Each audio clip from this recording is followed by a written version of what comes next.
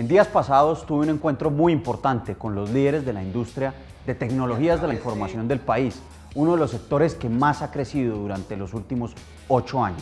Hemos vivido una auténtica bonanza en las empresas de la industria TI y de desarrollo de software, los cuales crecieron en un promedio de 17%, muy por encima del promedio de los demás sectores que apenas alcanzaron un 5% de crecimiento.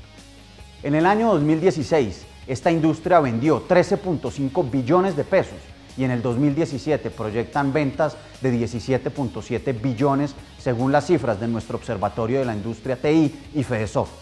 lo cual también significa que este sector aporta al Producto Interno Bruto 1.59%. El reto más grande para esta industria en el año 2018 y los años venideros es mantener una curva de crecimiento a través de la contratación de personal calificado y la creación de nuevos talentos en TI.